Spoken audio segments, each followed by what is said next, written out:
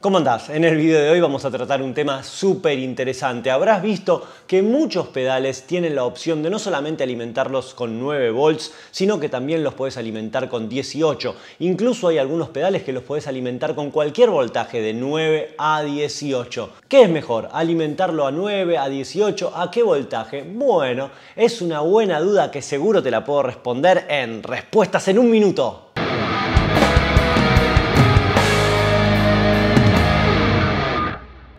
Como seguro ya sabes, muchos pedales de guitarra y bajo te permiten alimentarlos a más de 9 volts, que sería lo estándar. Ten en cuenta que en el caso de algunos pedales esto puede ser súper positivo, pero no en todos los casos es así. En el caso de pedales de modulación realmente no va a haber mucha diferencia. Ahora, donde sí esta diferencia importa es cuando hablamos de pedales de drive, llámese booster, fast, distorsiones, overdrive y similares. Lo que te permite lograr alimentar estos efectos con más de 9 volts es lograr mayor headroom, es decir, más volumen. Es decir, vas a lograr subir más la ganancia y más la distorsión sin que el pedal rompa, sin que sature tan rápido. Esto realmente lo que te brinda es una nueva paleta de colores que puede llegar a ser muy positiva. Lo mejor que puedes hacer es conectar el pedal si te ofrece la opción de 9 o 18 volts a ambos voltajes y ver cuál es el sonido que más te gusta. Ten en cuenta que algunos pedales los vas a poder alimentar con cualquier voltaje desde 9 hasta 18, 12 volts, 15 volts, 16 volts. Esto es espectacular ya que te permite ampliar la paleta sonora de dicho pedal y te va a permitir lograr diferentes colores según el voltaje que utilices para alimentarlo. Como conclusión y consejo, si tenés algún pedal de boost, fast, overdrive o distorsión que se pueda alimentar a más de 9 volts, te recomiendo probarlo.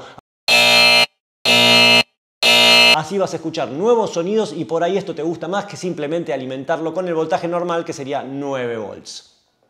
Espero que este video te haya resultado útil. En tal caso, no dejes de darnos un me gusta y recordá compartir en tus redes sociales, suscribirte a nuestro canal de YouTube si todavía no lo hiciste y activar las notificaciones con la campanita. Como siempre te digo, no tengo mucho más que contarte en esta ocasión. Mi nombre es Fernando Gabriel de Gearhaven y GH Systems. Nos vemos muy pronto en más videos.